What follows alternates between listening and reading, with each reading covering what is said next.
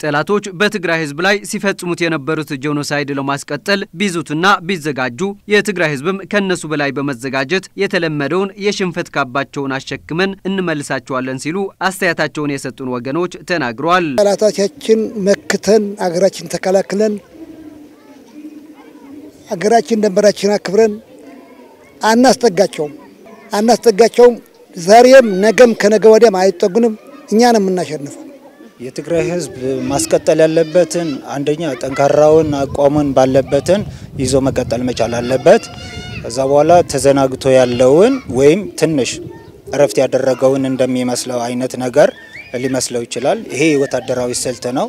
እኛ ምንም የምናውቀው ነገር የለም። ይሄ ወታደራዊ ለባለሙያዎችን እንተውላቸው። እንደ ጠላት መምጣት የሚችልበት መንገድ ሊኖር አይችልም። ምክንያቱም ከአሁን በኋላ ትግራይ ውስጥ ይረግጣታል ብለን ማሰብ አንችልም። ሁለተኛ ትግራይ ውስጥ ይገባል ብዬ አላስብም። ጦርነቱ ሊራዘም እነሱ በጣም ይፈልጉታል።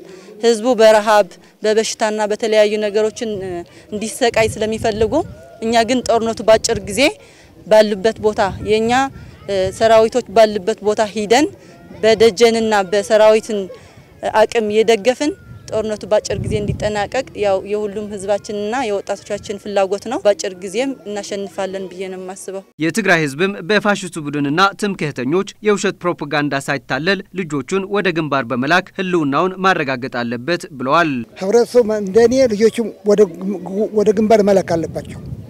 ሸሽጎ መኖር አይቻልም ብዬ አስቀምጫለሁ። ማን ተታግሎ ማን ሊኖርበት ነው አገሩ? አብረን ሁላችን ታናሽ ታላቅ ሳንል ለሀገራችን እንከላከል። ለዘመናት የተጨቆንበት ይበቃናል፣ በቂ ነው። ውስጥ ካሁን በኋላ ትግራይ ጠንካራ የሆነች አገር እንጂ ካሁን በኋላ በአማራ እንገዛም ስሜቴ ነው። ጠላቱ በወሬም ይሆን በምንም ይሆን የሚነዛቸውን ፕሮፓጋንዳዎች እኛ ምንም በተግባር ላይ የሚያዳክመን ነገር አይደለም።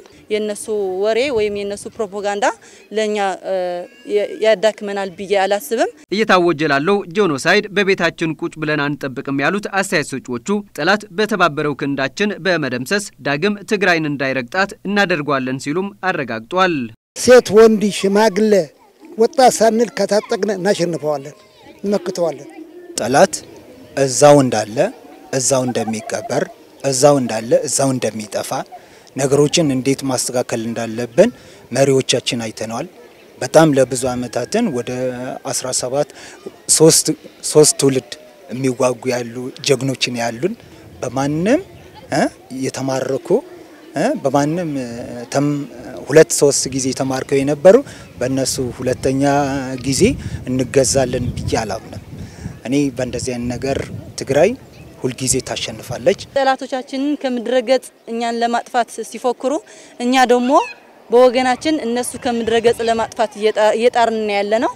ወጣት ሴቶችም ሆነ ወንዶች ከነ ሽማግሌዎች አሁን ልጆቻቸው ያሰለፉ ሴቶች ሳይቀር እኛም በደጀን ሁነን እናንተ ጋር ከጎናችሁ ሁነን እነዚህ ጠላቶች የትግራይ መሬት ደግመው እንዳይረግጡ አብረን እንስራ እየተባባልን ማንም ሴትሁን ምንም ይሁን ሴት ነኝና አልወጣም ወይም ደግሞ ሽማግሌ ነኝ የሚል ሀሳብ ያለው ሰው የለም። አሁን እዚህ ውስጥ ሁሉንም በተመሳሳይ ሀሳብ ተስማምቶ እነዚህ ጠላቶች የትግራይ ምድር ሳይረግጡ እዛው እያሉ እዛው ልናስቀራቸው ይገባናል ብለን በአንድ አይነት ሀሳብ ተስማምተን ያው በጥንካሬ ያለው ስሜት ይዘን ያለ ነው።